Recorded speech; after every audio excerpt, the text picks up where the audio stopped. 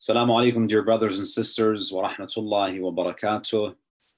I'd like to welcome you all to our ninth session on the tafsir of Surah Al Anbiya, which is the 21st Surah of the Quran.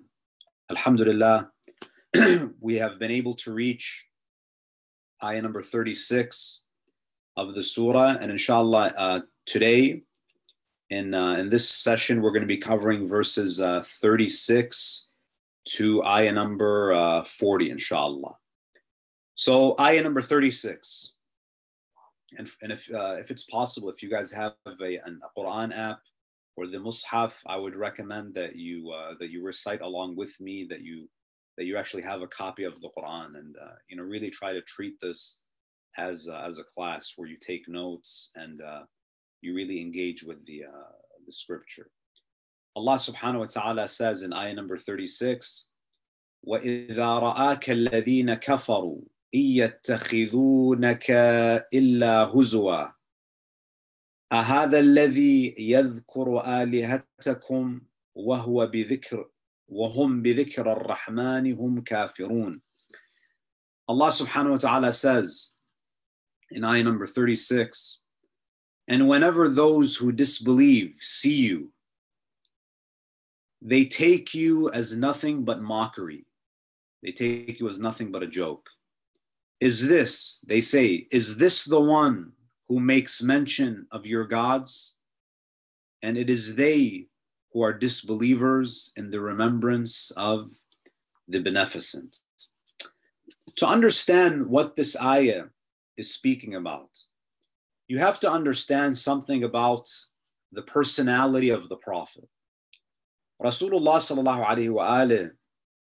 one of his most unique qualities is his, his ability to encompass believers and non-believers with his mercy. Rasulullah showed great concern and care for all people and he actually felt great distress. He felt great pain when he would see people living lives of sin and ignorance and corruption. It would hurt the Prophet whenever he would see someone being disconnected from Allah subhanahu wa ta'ala. And Allah subhanahu wa ta'ala, He alludes to this in Surah At Tawbah ayah number 128, where he says, لَقَدْ جَاءَكُمْ رَسُولٌ مِّنْ أَنفُسِكُمْ Allah is addressing the Meccans. He's addressing Quraysh. That indeed a messenger has come from among you. Muhammad ibn Abdullah is not, he's not a stranger. You know, he's not someone who's foreign to you. He's someone that you know. He's someone that was born in your midst. He comes from a very well known family. You saw him grow up. You're very familiar with his background. I did not send you someone who was unknown, someone who was foreign. لَقَدْ جَاءَكُمْ رَسُولٌ مِّنْ أَنفُسِكُمْ And this Rasul, this individual that I, ha- that I have appointed to guide you, to teach you, to inspire you, to educate you, to enlighten you. he has so much concern and so much compassion for people that Allah says, Azizun alayhi ma anittum. He is distressed when you suffer, when you suffer physically and spiritually. Rasulullah, in the same way that when a parent sees their child not doing well in school, or they see their, their child suffering of an illness, it's actually the parent who suffers the most because the parent has great love for the child. Rasulullah he is the spiritual parent of all of humanity. And therefore he feels pain. It hurts him when he sees ignorant people like Abu Jahl, like Abu Lahab, like the Bedouin Arabs who were uneducated, unrefined, who had no relationship with their Lord, who were heedless of their Creator. This actually took an emotional toll on the Prophet because Rasulullah was a lover of humanity. He wanted the best for people. Azizun alayhima anittum. When you suffer, Rasulullah suffers because he has this type of affinity towards you. Harisun alaykum. So Allah here is describing the Prophet's relationship with all people. Harisun alaykum. Harisun alaykum means that he's very protective of you. You know, hirs, it usually refers to being greedy. You know, when you're very possessive, you're very protective. But here it's used in a, in a positive light. It has a positive connotation here, meaning the Prophet sees you as one of his own, that you belong to him. He's protective of you. No matter who you are, no matter what your background is, Rasulullah has hirs. He sees you as a member of his flock, a member of his community. Harisun alaykum.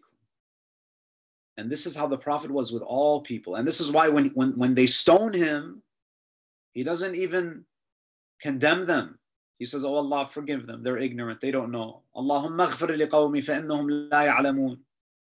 The Prophet is always asking Allah to, you know, forgive them, don't punish them. Harisun alaykum. And then Allah at the end of the ayah, again, this is Surah 9, verse 128. At the end of the ayah, Allah speaks about the Prophet's relationship with mu'mineen. Azizun alayhi ma anittum. Harisun alaykum is with everybody. Bilmu'minina, bilmu'minina ra'ufur rahim. With mu'minin, the Prophet is even more. He's so kind. He is so merciful. So everyone enjoys this prophetic care, this prophetic concern. But mu'mineen are given special, a special type of affection, and love and mercy. And subhanAllah, do you see a parallel between the way the Prophet conducts himself and the way Allah interacts with his creation. So Allah is Ar-Rahman Ar-Rahim.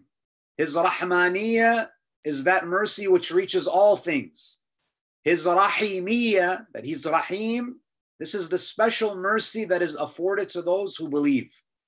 Similarly, Rasulullah is Azizun alayhima anittum harisun alaykum with all people, but with mu'mineen, he is what? Ra'uf Rahim.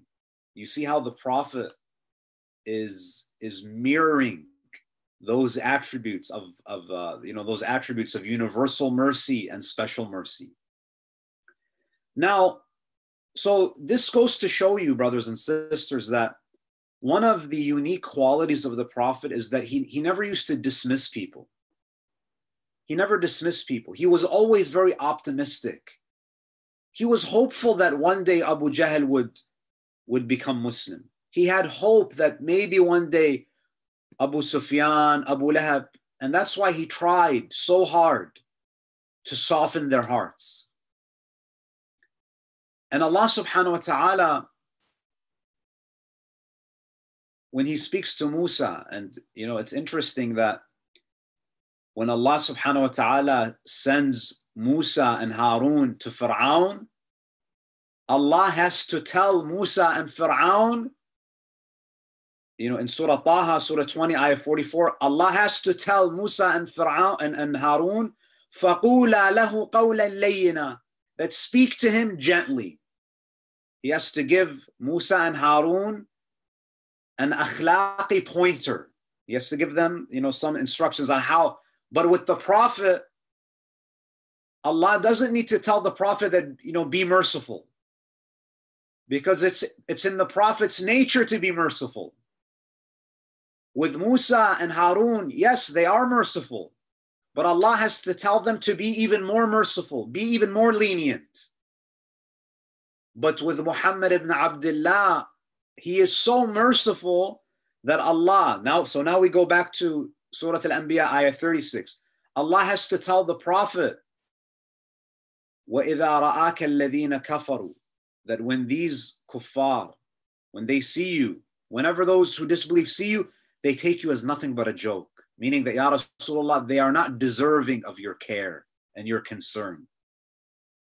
They take you as nothing but a joke, and they ridicule you, they mock you by saying, أَهَذَا الَّذِي يَذْكُرُ آلِهَتَكُمْ is this, is this the one who talks about our idols? And notice, they don't mention what the Prophet says. They just say, all they say is, Is this the one who makes mention of your gods? They don't mention that the, that the Prophet says that he condemns them, that he speaks ill of them. Because look at the loyalty of the kuffar, that these idol worshippers, they are so loyal to their idols that they don't even want to relay the Prophet's condemnation of idol worship because they see it as blasphemous. They don't even want to relay the, the blasphemy. And then Allah says at the end of the ayah, وَهُمْ بِذِكْرَ الرَّحْمَنِ هُمْ كَافِرُونَ They don't, they're so careful about saying anything blasphemous about the idols, but they say the most blasphemous things about Allah Azza wa Jal, about Ar-Rahman. And and this is this is something that that we also observe. The idol, the, the mushrikeen, they used to put the idols on a pedestal. The idols were perfect. They would not even dare to say anything blasphemous about the idols. Today, we have certain philosophies and certain ideas that we treat as idols. For example, postmodernity, we treat it as an idol.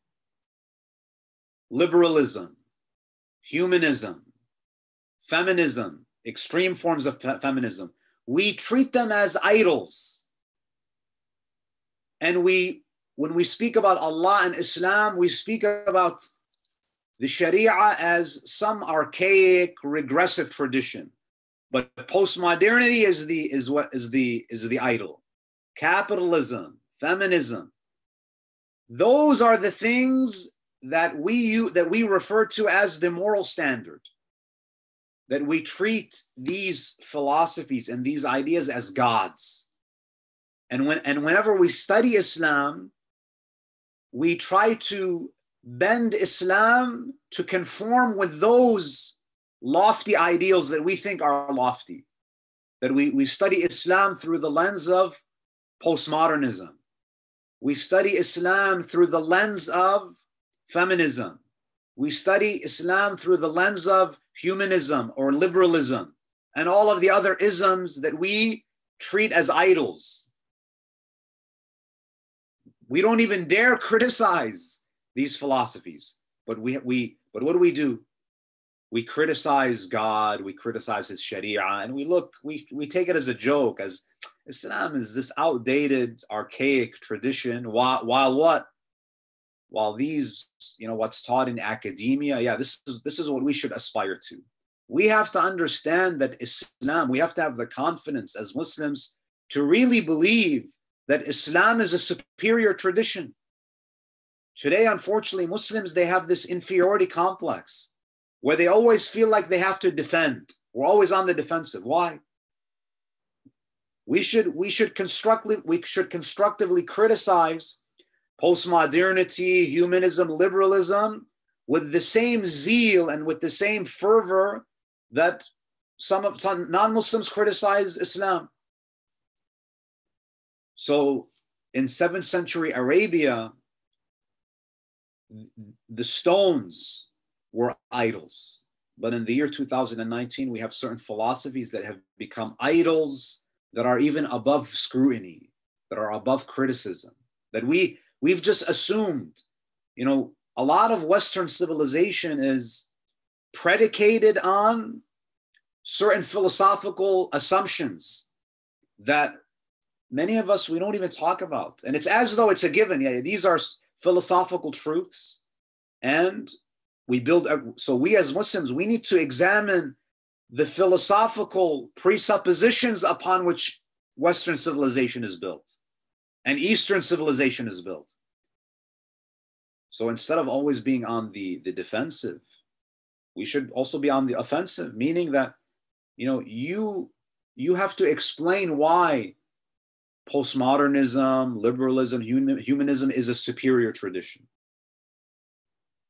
That we should it shouldn't just be a given that these are things that are so wonderful and so great and we have to we have to bend islam to conform with these new idols you see idol worship we shouldn't think is just you know stones and you know material things no sometimes we we treat ideas isms as gods and we place it above allah subhanahu wa ta'ala. And we we we pl- we put we take Allah's Sharia and we put it at the feet of these isms and we try to understand them in light of those those you know philosophical idols that we've created. Now going back to the uh, the surah ayah number 37 and this is a very very interesting a very beautiful so so again going back to uh, before i go to the uh, the next ayah. So allah subhanahu wa ta'ala in ayah number 36 he's essentially reminding that the prophet that these people are not deserving they don't deserve your care and concern because all they they just they take you as a joke ya they do nothing but mock you so don't feel sorry for them And if you look at the Quran, so the Prophet ﷺ, he had this, this quality of always being hopeful, being optimistic, trying to always see the best in people. And Islam really is a culture of hope. And the Prophet ﷺ, in the Quran, he is called what? يا أيها الرسول إنا أرسلناك شاهدا ومبشرا ونذيرا you know, one of the names of the Prophet is that he is Bashir. He is the, the bearer of glad tidings, meaning he inspires hope in people. He's Bashir. And he's also a Nadir. He's a warner. But even when the Prophet warns, Rasulullah is not trying to scare us. When he speaks to us about divine punishment and the consequences of our actions, when we say that the prophet is a warner, all the prophet wants is to bring our attention to the seriousness of our lives, that it's not a joke. You have to wake up.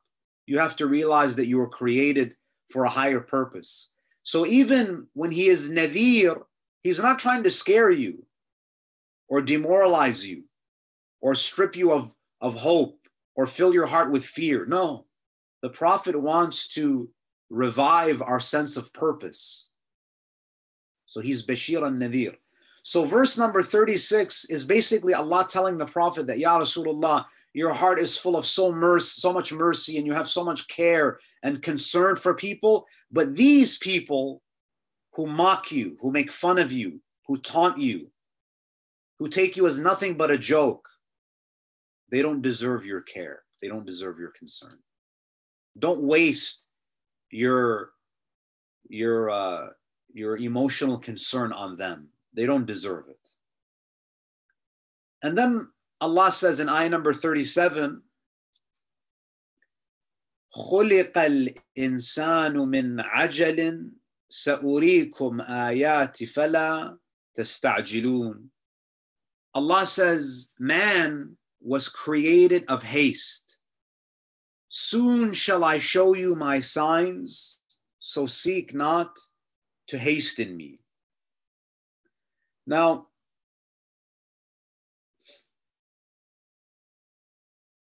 خلق الإنسان من عجل.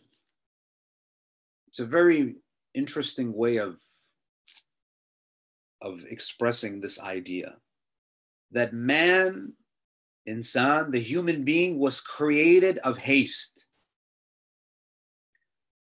Allah subhanahu wa ta'ala here is essentially saying that people, all human beings, they possess the trait of being hasty, that this is part of the nature of the human being. And in some people, this quality is manifest, and in others, it's dormant, but it's in every person. This, this sense of, uh, of ajala. And Allah says that He created man, man was created of haste, meaning that this quality of being hasty and impatient is a weakness that has been created in human beings and it is it is such a deep rooted quality that that it's as if Allah created us of haste. You know Allah created us of clay of teen of turab but this quality of ajala of being hasty and impatient is so ingrained in the human soul that it's as if Allah created us of haste so it's a type of hyperbole. Because the mushrikeen, whenever the Prophet would speak about paradise and hellfire and punishment, what would they usually say? They say, if it's true, then let it happen now. If hell is real, if, if divine punishment is real, we want, we want to see it now, right? So if you look at Surah Al, Al-Anfal, ayah number 32, if you mo- most prophets, when they warned their communities that if you continue committing sin and you continue defying and opposing the truth, God's wrath will descend upon you. 99% of the time, what was the reaction of the people? what was the reaction? Yeah, you're right. We should make Toba. That you know, maybe we should think about this. Maybe we should take our lives more seriously. Maybe we should consider the validity of what you're saying. No. The answer is what? وإذ قالوا اللهم إن كان هذا هو الحق من عندك فأمطر علينا حجارة من السماء أو ائتنا بعذاب أليم. They would say, Oh God, if this is true, if what your prophet is saying is true, then rain down upon us punishment from the sky. Allahu Akbar. That they say we, we want we want to see the punishment now. See how hasty the human being is, how impatient. And this is not just talking about mushrikeen, all people. We have this quality in us. You know, when we make dua, for example, when we make dua, what happens when Allah doesn't give us what we want right away? We become impatient. You know, sometimes people they come to me and they say, Sheikh, I'm so frustrated. I've I've been begging Allah subhanahu wa ta'ala. I've been making dua day and night, and He doesn't answer me. And you say, and then you find out that they've made, they've, they made dua for three days. as if they want Allah to, to respond to them right away. They're impatient. And this is why Allah subhanahu wa ta'ala, when He speaks about people, the human being, in Surah Al Isra, Surah 17, ayah number 11, He says, وَيَدْعُ الْإِنسَانُ بِالشَّرِّ دُعَاءَهُ بِالْخَيْرِ That human beings, they pray for evil with the same passion that they pray for good. وَكَانَ الْإِنسَانُ عَجُولًا Meaning, sometimes we want Allah subhanahu wa ta'ala to give us something and we want Him to give it to us now. But if Allah were to grant us our prayers at the time that we wanted, we would be praying for our, our own destruction. So Allah Azza wa Jal, He knows what is good for us, and He knows when to give it to us. We have to trust Allah's timing. And that's the problem with people. We live in this culture of instant gratification. And we expect Allah Azza wa Jal to comply with this culture. That when I make dua, Ilahi, you have to be like Amazon Prime. My dua needs to be like Amazon Prime right away. And when when when I want to know the truth, we want to understand realities right away. We don't even have the patience when it comes to acquiring knowledge. You know, even when we were in the in the Hawza, there, there are some students they come to the Islamic seminaries, and you know when you when you study Hawza, when you study in the Islamic seminary, you have to start off with the elementary subjects. You have to study the boring subjects. You have to study Arabic grammar, Arabic morphology. You have to study mantiq, logic. And a lot of these subjects are very dry. They're very theoretical. And some students, they say, when are we going to study Irfan? When are we going to study? Oh, they want to go straight to the exotic sciences. Why? Right? The, the human being has been created of haste. We don't have patience. We don't have patience. When we suffer, when we're experiencing a bala, we want, we want, we complain so much. You know, this is why when you look at the story of Ayub, Ayub lived in comfort for 80 years, some narrations say. And he suffered great tribulations for seven years. When his family, when his wife would say that, you know, we've been suffering for so long, make ask Allah to remove this bala from us. That ask Allah to remove the hardships and the calamities. He says to his wife that, oh my dear wife, we have been living in ni'mah for 80 years and we've been living in hardship for seven. And I'm too embarrassed to ask Allah to remove the hardship when it's only been seven years while I have enjoyed 80 years of health and wealth and comfort. You see, Ayub understands that, you know, human beings, they're, you know, they're too hasty. Maybe this is good for me. Maybe my soul is developing important virtues during this time of bala. So, so Allah says, so خُلِقَ الْإِنسَانُ مِنْ عَجَلٍ Man has been created of haste. So Allah says, "Sa'urikum ayati fala tastajilun." You know, the interesting thing about mushrikeen, about people in general, is that we are hasty, we are impatient, and we expect Allah to also be hasty. Allah says, I will soon show you my signs. So do not, so do not, so Allah subhanahu wa ta'ala says, so do not hasten me just because you're always in a rush and you're impatient, don't don't expect me, don't rush me. Allah says, You're ignorant. You don't know. I'm Al Hakim. I do things at their appropriate time. Because ajala, the meaning of uh, of ajal is to want something before its appointed time. While Allah Azza wa Jal, everything that He does, there is precision in the timing. So Allah says, soon, don't worry, soon you're going to see the punishment that you were begging for, that you wanted to see. Soon you will see the truth that you were seeking. Soon I will grant your dua, whatever it may be. You will soon see my signs, but don't rush me. Just because you have this quality of ajala, don't try to impose this hastiness and this recklessness on me. Just because you're reckless, don't think that your creator, your Lord, is reckless. Don't think that he's hasty. So Allah subhanahu wa ta'ala, again, you know, if, if you go to Surah Al-Insan, ayah number 27, in ha'ula yuhibbun al-ajila. You know, this is why people people like dunya because dunya is in with, within reach. You tell them about akhirah that oh, I have to wait for the akhirah. No, I want the instant gratification of dunya.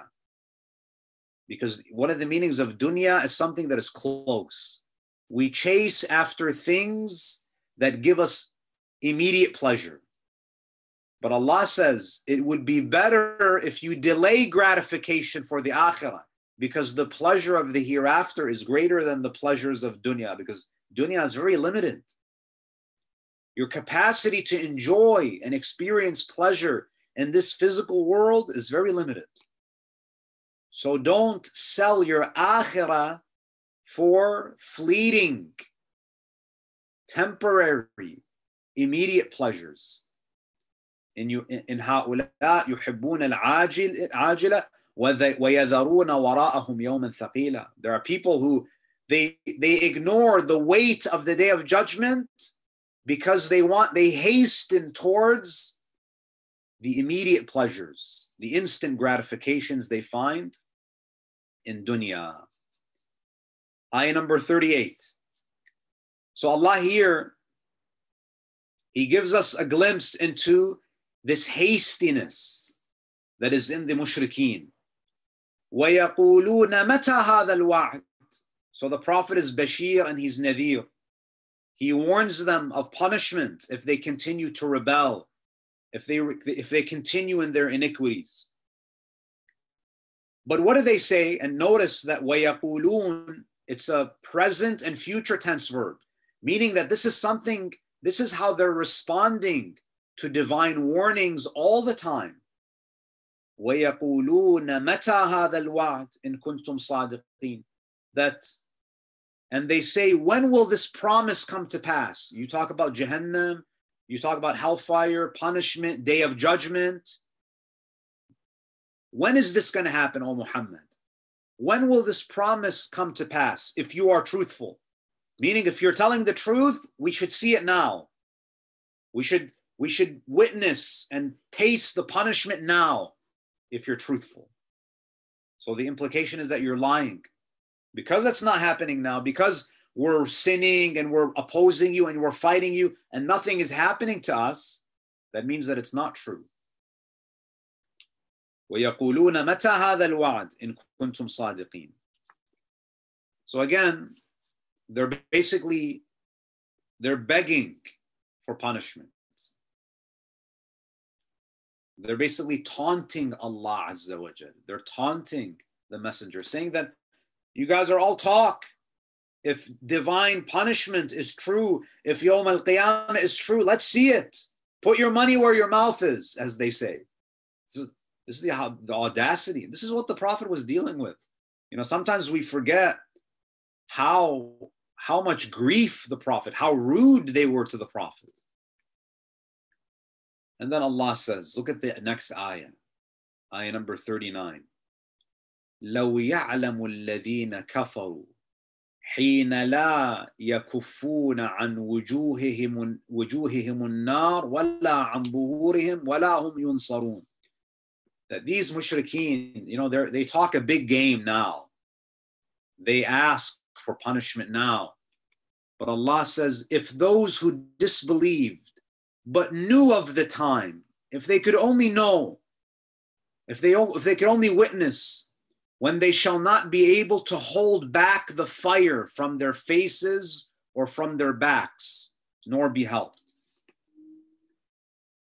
Allah says that they have, they sound very bold now. They taunt and they ask for the punishment to come now. Allah says if, if, if they could only see this Jahannam that they're asking for now. And if they were to see this Jahannam and they, they wouldn't they wouldn't be able to even, you know, yakuf comes from the word kaf. Kaf means palm. You know, your natural defense mechanism when someone when you're when you see harm is that what you put your hands up. You know, if you don't have any other form of protection, if there's a if there's harm or if there's an enemy, if there's a threat that comes to you, your natural instinct is to put your hands up. This is the meaning of yakufuhum. So, لو يعلم الذين كفروا, if the kuffar only knew, if they only knew the time when they would not be able to repel, repel what? Repel the fire that is going to burn their faces and their backs. Allahu Akbar. their faces and their backs, meaning that this Jahannam, this hellfire that they think is a game, and they're taunting and they're asking for this punishment, Allah says this fire is going to surround them. It's going to surround them, and they won't even be able to protect their faces and their backs. Meaning that it's not a it's not a fire you know usually when you know if you think of a bonfire usually when there's a fire it comes at you from one angle you know so for example you know you're you have you're you're uh, cooking s'mores over the fire and then say there's a gust of wind and the flame comes in your face right it's coming at you from one angle and you pull back but jahannam is different brothers and sisters the hellfire is not just coming at you from one direction. Na'udhu billah. It's coming at you from in front of you and from behind you, meaning that this hellfire is going to envelope you, that there's nowhere to run. You know, you, you know, when there's a fire, you can run away because fire is coming at you from one direction usually. But how do you run away? How do you how do you protect yourself from a fire that has engulfed you, that surrounds you, where if you run in any direction, you're running towards fire? Allah says in Surah Al Kahf, Surah 18, ayah number 29, Inna a'tadna lil We have prepared for zalimeen. And a zalim can, you know, Allah, see, Allah is not, you know, sometimes Allah says zalim. This could be someone who even claimed to be Muslim. You know, there are many people who claim to be Muslims, but they their Islam was just lip service. They were zalimeen, they were oppressors of themselves and others. The zalim, the, the oppressors, Allah says, I have prepared for them naran ahata bihim saradiquha. I have prepared a fire that will surround them like walls, walls of fire surrounding them. Now, when you're surrounded by that much fire, you, you call out for help in desperation. Allahu Akbar. You know, istighatha comes from the word ghaith, and ghaith means torrential rain that comes after a long drought. You know, farmers, when there's a drought and there's no rain, you know, look at how precise the Arabic language is.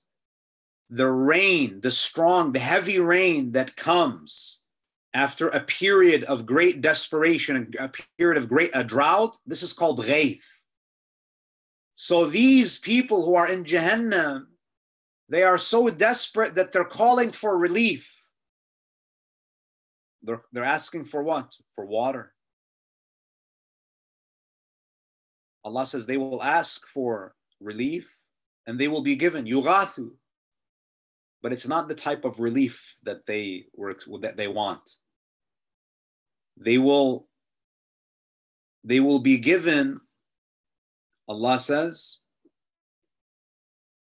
they will be given water that is like molten lead.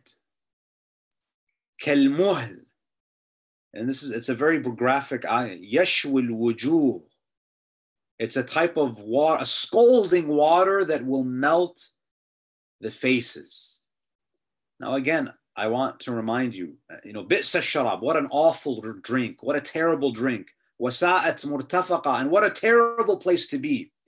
It's important for me to remind you, brothers and sisters, that these punishments are simply the manifestation of the reality of their souls. This adab is not an arbitrary punishment that Allah He's just torturing them. No, this is this is the reality of their souls. Jahannam is basically people confronting the darkness of their souls. You know, when you do something evil in this life and you really think about it and you confront the evilness of your action, you suffer psychologically. In that life, in that world, people are gonna, they're gonna confront and they're gonna experience the reality of their souls on a level that we cannot even comprehend. So this suffering is nothing but the result of realizing the reality of what they did to their souls in dunya. In dunya, they were escaping the reality. But in this life, they have to come to terms with the nature of their souls. So it's not that Allah is just saying that, you know, there's a sign on Jannah that says, do not enter. And they, they can go in, but the malaika are not letting them go in. No, they, they can't go to Jannah because Jannah is what? What is paradise? Paradise is the manifestation of pure souls. Mu'mineen in Jannah, what are they enjoying? They're enjoying the reality of the pure souls that they nurtured. Jannah is just you experiencing your own nafs because your nafs, your, the good qualities, your good deeds have now taken on a physical form. In hell, when we speak about fire and boiling water, again, we don't understand the reality of these things, but those things are just the manifestation of those wicked souls. So we shouldn't think that Allah is just this tyrant who's just burning and pouring water. No, th- these are these are the realities of the soul that are being manifested. The soul is being unfolded in that world. So the suffering is just the suffering of the soul. And it's, it's suffering that the soul brought on itself. And Jannah is the soul enjoying the beautiful things and the pleasures that it inculcated. Now, going back to the uh, to the ayah. So we're this is so this is ayah number 40, and I, I think we'll conclude here, inshallah. Ayah number 40. بل تأتيهم بغتة فتبهتهم فلا فتبهتهم فلا يستطيعون ردها ولا هم ينظرون So in the previous ayah, we mentioned that they're not going to be able to protect themselves from the fire with their hands. Do you know why they're not going to be able to protect themselves? So one reason we gave is that because they're going to be surrounded by the punishment. And Allah says, What? Nay, but it will come upon them suddenly and confound them.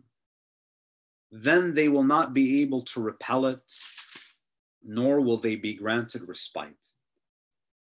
You know, the punishment in Jahannam comes so quickly because the word baghtatan it means something that happens suddenly and without any warning signs. So one of the reasons why maybe that the the kuffar, the the zalimin, they can't protect themselves from the fire is because the fire, the flame hits them so fast and so suddenly that they don't even have time to respond with a defense. بل تأتيهم بغتة and they're going to be in a daze. You know when something, you know, you know sometimes when you watch boxing, the boxer his jab is so quick that the fighter can't even raise his hands to defend the blow. So here Allah is saying that the punishment, the flame, the adab, will hit them so hard and so fast and so unexpectedly that they won't be able to defend themselves. And Allah says, Fatab فَتَبْهَتُهُمْ You know, Allah says, فَبُهِتَ الَّذِي كَفَرْ That they will be in a daze. They will be, they, they won't even know what hit them. They will stand there completely stunned. You know when people when cops they they taser criminals, especially when the criminal doesn't see the taser, they, they get stunned. Allah, and look at how graphic these verses are. Allah is giving us a very real scene. So Allah is saying, I'm not going to tell you when this is going to happen, but let me explain to you what it will be like. That it will stun you. And it will stun you in a way you will be dumbfounded and you will not be able to repel it. Why, why, why will you not be able, and nor will it be delayed. Right? You know, when Shaitan refused to do sujood to Adam, what did he, what did he ask? Allah says, You're mal'oon, you're rajim. قال أنظرني إلى يوم يبعثون. Oh Allah, punish me, but don't punish me now. Punish me later. Allah says, Now, today is the day where the punishment has come. And there's no later now. There's no delays. You will taste the full extent of the punishment. And Jahannam, my dear brothers and sisters, is a type of fire that is not like the fire in dunya. Fire in dunya, it burns haphazardly. But the fire in Jahannam has a very high level of conscience. So, because Allah says, Narullah This is a fire. It's not ignited by gas. It's, it's ignited by the wrath of God. This is this is narullah. Allah attributes it to Himself because it's such a fierce fire. التي تطلع على الأفئدة. This is a type of fire that looks deep into the hearts of people. التي تطلع على الأفئدة. أفئدة is the plural of fuad. So Jahannam is not this just random fire that just burns indiscriminately and haphazardly. No, no. Every flame, this is a fire that looks, it x rays the heart of the person and it punishes them in accordance to the darkness of their soul. So Allah is telling them that that now, O Muhammad, number one, don't these people don't deserve your concern. They don't deserve your care. They don't deserve your mercy, O Muhammad. Because whenever you talk to them, whenever you preach to them, they mock you, they laugh at you, and they taunt you. And they say, if hell is real, let us taste the punishment now. Allah says they talk a big game now. But there's going to come a day when they actually see that fire and it's going to hit them so hard that it's they're not going to be able to defend themselves. They're not going to know what hit them and they're going to be in a daze. And even when they ask for help they won't get help because now they have to confront the reality of the darkness of their own souls. We ask allah azza wa to protect us from that punishment. We ask allah azza wa to honor us with the, to save us from this punishment through the shafa'ah of Muhammad wa Ali Muhammad. Uh, so that concludes our uh, discussion for tonight. Uh, if there are any questions or comments, uh, we'll uh, inshallah address them uh, now. Um, could you uh, elaborate a little bit more on the concept of universal mercy and versus the special mercy that the Prophet had for all people versus just the Muslims? Uh, how did those two differences manifest themselves? So, for example, when we when we speak about the Prophet being rahmatan lil alameen, rahmatan lil some of the urafa, some of the Muslim philosophers, they have this discussion about you know, we have a hadith that indicate that the first thing that Allah created, we have many hadith about this. The first thing that Allah ever created was the light of the Prophet, the nur of the Prophet. And again, when we when we when we say light, we're not talking about the physical light with the photons. No, we're talking about this kind of immaterial, spiritual light, whatever you want to call it. The first thing that Allah created was the light of the Prophet. And from that light, a hadith say that he created the light of Ali and the light, the anwar of Ahlul Bayt. The arwah of the Ahlul Bayt, they were they predated Adam. Now, so with that in mind, you know, if you look at Ziyaratul Jami'ah, when you read that ziyarah by Imam al-Hadi alayhi salam, you understand that Allah subhanahu wa ta'ala, He created the most perfect created beings. And there's a reason why the pro- that, that Allah has to start with the Prophet. That he has to create, there has, and this is something that's called sinkhiyah in philosophy. You know, when like for example, fire. Fire and burning there's there's a relationship between the two. There's a there's a closeness between fire and burning. Allah begins creating a creation that has the least amount of limitations. And then after that the creatures have the creatures that come after that have even less limitations so Allah created the Prophet, and from the Prophet, He created all other things. So, one way of understanding, one example of this universal mercy is that we receive the blessing of existence through the medium of the Prophet. You know, sometimes when you have an outlet and the voltage, the voltage has to be has to be the right voltage, otherwise you burn the device because it cannot withstand the voltage. The only creature that can withstand that direct that direct experience with Allah is the Prophet. And Allah has to create this kind of filtration system, this buffer system for so we cannot receive divine grace directly from Allah because we are in we are more much more inferior. The only makhluk that has the least amount of limitations is Rasulullah. So it has to come through him, through Ali, and through the greatest of creation, and then existence reaches other other uh, creations. So this is a very kind of philosophical, irfani kind of way of speaking about how the Prophet's mercy is universal. So Rasulullah is even a rahmah for Adam. He's a rahmah for Jibra'il, for all, because the ni'mah of existence reached everything through the Prophet.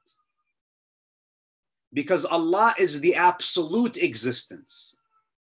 And He had to create a creature that can receive existence from Him directly. And to be able to have that kind of connection with the unlimited, supreme, absolute being, that creation has to be extremely powerful. Not, not independent, dependent upon God, but it's kind of like the, the concept of voltage that there has it has to be able to withstand. That's why only the Prophet can receive the Quran. لو أنزلنا هذا القرآن على جبل لرأيته خاشعا متصدعا من خشية الله. It's not random that the prophet's heart can only receive the Quran because Quran is so powerful that if it's given to anything else, it will, it will be destroyed. Right? So going back to the idea of the voltage, you'll get electrocuted. You can't handle the voltage. So existence has to pass through the creations that are least limited, that are closest to the divine, and then all other so the blessing of existence of life of rizq of all of these things have to flow through this channel. So again you know this is heavy stuff for people who don't understand the maqamat of Ahlul Bayt. You know there are some people if you tell them that Ali ibn Abi Talib is the first Khalifa they'll get a rash let alone if you share these these type of ma'arif with them and this is what this is really essentially what ziyaratul jami'ah is Ziyaratul Jami' al-Kabira is really all about how Ahlul Bayt, they have been, they are the tawassul, they are the wasila between Allah and His creation from the beginning of creation that that Adam, I mean, even if, even if you look at the story of Adam, وَعَلَّمَ آدَمَ الْأَسْمَاءَ كُلَّهَا the arwah of the Ahlul Bayt were there before Adam. So even Adam came into existence because of them. But again, you know, this this requires a long commentary, and maybe one day we'll, Allah gives us the tawfiq, we can do maybe a commentary on Ziyaratul Jami'a al Kabira, so we can start to understand some of these uh, these realities. Inshallah. And even, I mean, just as one final comment, and I, I even mentioned this in, in Toronto when, during the Majalis, that the entire story of Iblis and Shaitan, uh, Iblis and, and Adam, it really boils down to the fact that Iblis wanted to worship Allah without this institution of wasila. He didn't, he didn't like tawassul. He says, I want to worship you directly. Allah says, No, you seek nearness to me through my chosen servants. You know, if Allah told Iblis, prostrate to me, believe me, he would have prostrated. He would have, Iblis would have had no problem doing sujood directly to Allah. He had problem with what? Eh, he had problem with an ibadah that included the wasila of Adam. So the whole, the, the, the beginning of the story of man is this, this this just being adamant about worshiping God directly. And even if you want to worship Allah directly, and even if you go to Surah Al Fatiha, it is you alone who we worship. You know, even when you want to send, if I want to send mail to Zain directly, I still have to go through the post office. So saying that I go through Ahlul Bayt to seek Allah and going directly to Allah, that's not mutually exclusive. They're not mutually because going directly to Allah entails that you go through the wasila. It's like the post office. If I want to mail something directly to you, I still have to go through the post office. Allah communicated to you and I through the through the, the Prophet. Allah could have gave revelation to each and every one of us. So Allah chose to spoke to He chose to speak to us through the wasila of the Prophet. So why is it so shocking to me that when I want to seek Allah, when I want to pray to Him, I also go through the same wasila in the back? So I don't know why people have such an issue with with tawassul and wasila. This whole religion is built on wasila. The beginning of the story of man is about wasila. The reason why shaitan is shaitan is because he insists on worshiping God the way that he wants to worship. You know, rejecting the intermediaries that Allah has authorized, that Allah has appointed. That was that's a really interesting point about Shaitan would have been very happy to worship Allah, but he just didn't want to worship him in this one manner. He he's been doing he was doing it for thousands of years. He had no problem with uh, with this direct worship, this this tawheed that the Wahhabis preach.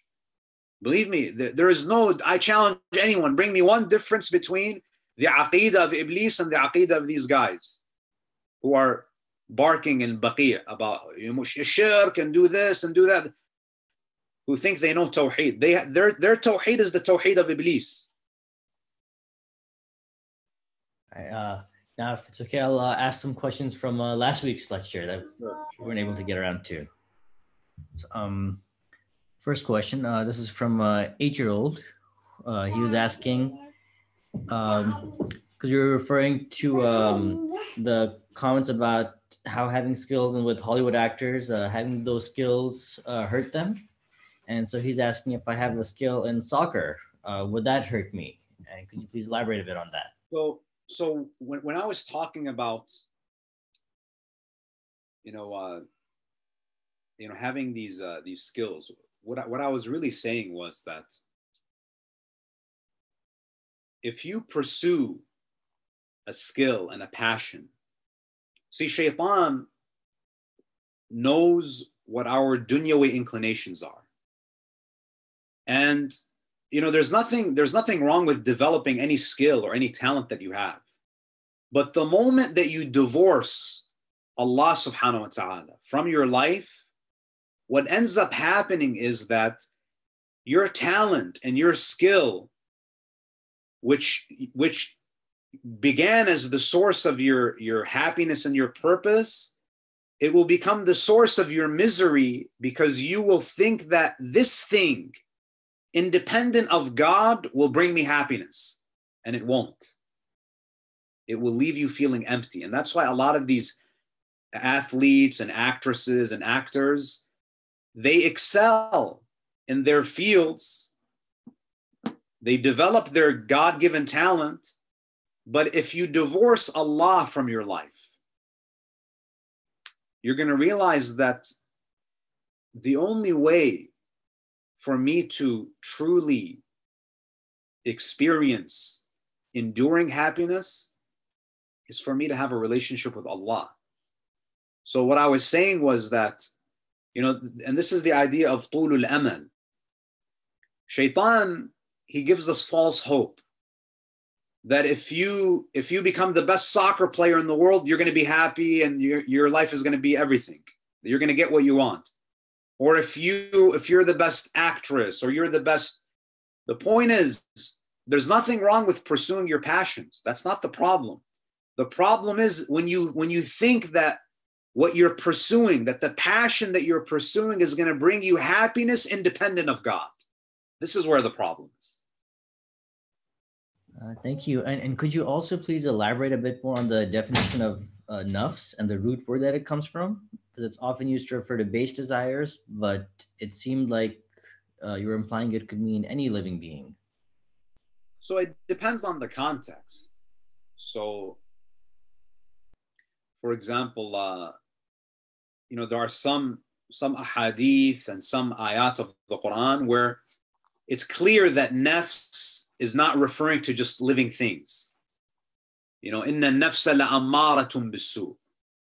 We know that, you know, this is talking about the human soul. We're not talking about the the the, the nafs of, of other creatures because the you know the, the, the nafs of other creatures is not going to have it's not going to command them to do evil right? because shaitan is not targeting you know uh, animals or, or or other creatures so sometimes you have to look at the context. And we mentioned that the word, uh, I mean, just looking at the etymology of the word nefs, you know, there are there are many words that have been derived. For you know, we said nefes, you know, breathing. Uh, when a when a woman experiences postpartum bleeding, she's she's nufasa, you know, nifas, because because one of the characteristics of you know living things generally is that they bleed right so because living things have souls and living things generally bleed or they breathe. Many of them do. That some have said that you know maybe this is why there's you know a lot of these uh, words are associated with each other. But nafs you see that uh, you know a lot of people confuse ruh with nafs.